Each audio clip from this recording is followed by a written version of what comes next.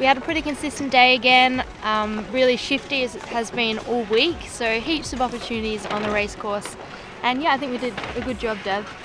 It's been pretty tricky, um, but yeah, super happy with how we've been sailing at times, and we know what we can do, and um, we just got to work on a few areas and then um, slowly bring it all together. Carried a few too many points, so uh, that's step one. Uh, the week felt like nothing really went right for us. Um, we were always sort of in the mix and then something went wrong, whether we didn't, couldn't pick a shift um, to save our lives uh, or um, you know something broke. I think we had four breakages throughout the week, which is you know never happens um, and I really don't want that to happen again. Yeah, a bit of a disappointing medal race for us here. It was short course and really shifty and uh, we were going pretty well on the first lap but slipped back a bit on the second beat. Um, I think we finished up ninth overall. So happy to make a second medal race in a row, but disappointed we didn't move up.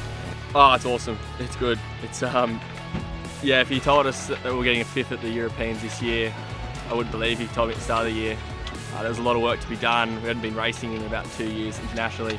It's pretty awesome and stoked for Tom and Joel to get another good result. They're sailing really well um, and we're just pushing each other, which is awesome. Um, and the fact we can do that and still being friends when we get off the water is, is even better.